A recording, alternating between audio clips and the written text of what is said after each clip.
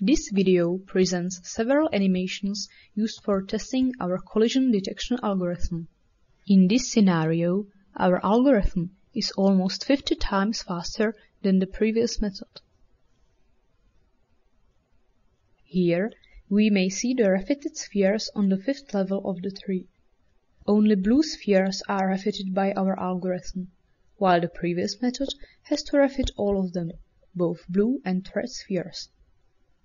This is the worst case scenario for our method involving a lot of collisions. In this situation, our algorithm is only 5 times faster. The reason is that many spheres must be refitted in order to detect all collisions. Here we may see the spheres on the sixth level of the tree.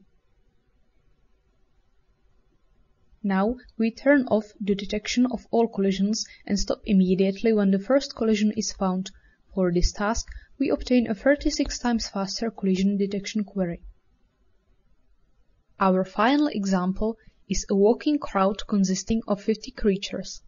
Our algorithm detects all collisions in real time. This was not possible with the previous method.